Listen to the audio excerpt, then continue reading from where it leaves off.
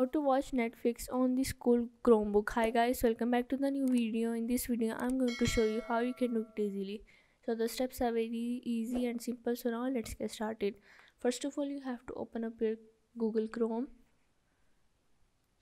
And here you have to go on the nord vpn and simply click on the vpn service.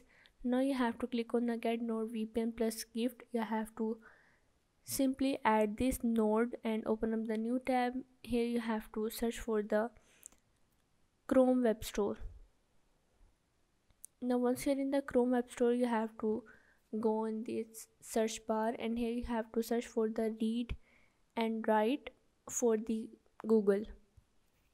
Now here you have to click on this purple icon and add this to your chrome once you add it you have to simply add the extension. After adding the extension you have to go on the extension and search for the netflix and you are able to watch the netflix.